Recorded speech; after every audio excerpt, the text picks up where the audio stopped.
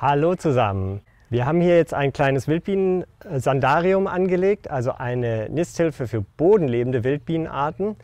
Also wir haben hier schöne große ähm, Stämme aus einer alten Birne herausgesägt. Ähm, das sind solche Halbstämme oder Hälften von, von Stammteilen. Die sind ungefähr 60 cm lang. Und so viel Sand ist dann hier auch drin.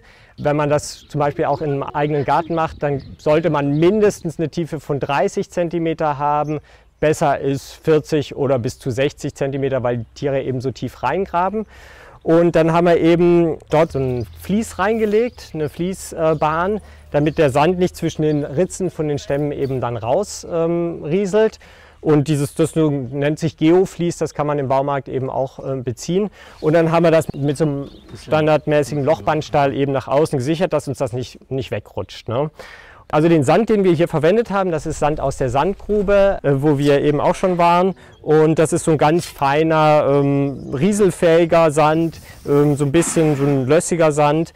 Das ist so, also wenn man jetzt einfach sich einen guten Sand sucht, ähm, nicht jeder wird jetzt zum Beispiel Zugang zu Lösssand oder so haben, dann sollte man einfach so einen Test machen. Man sollte den mal so zerreiben in den Händen, in, zwischen den Fingern. Und wenn der so richtig fein ist und so, so wie Mehl eigentlich in den Fingerrillen hängen bleibt, dann ist das eigentlich ein geeigneter Sand.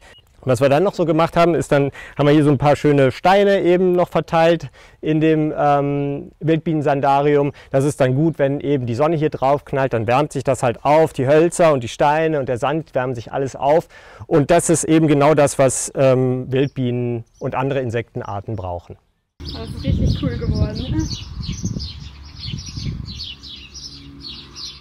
Okay, wie ihr seht, sind jetzt einige Wochen vergangen seitdem wir unser Sandarium angelegt haben. Wir haben hier einige Stauden eingepflanzt, die schon angewachsen und groß geworden sind. Und äh, es haben sich auch schon einige Wildbienen hier eingefunden.